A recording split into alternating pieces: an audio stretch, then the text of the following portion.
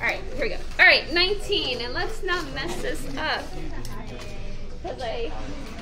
I don't know, I have a tendency. Yesterday I did one and I went negative two times two, and I put negative five. Oh my gosh. And the class didn't catch me on it. Okay, 19. So g of x is getting substituted into f of x, right? Okay, so the f of x function is x squared plus 7, right? But instead of the x, I'm substituting the g of x function.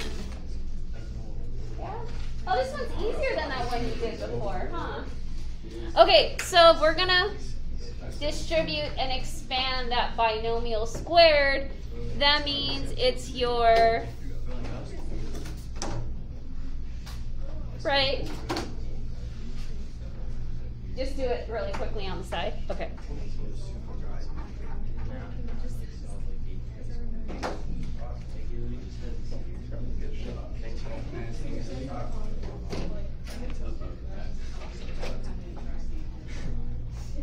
You know, just like Yeah? Okay, so then you're good? Okay.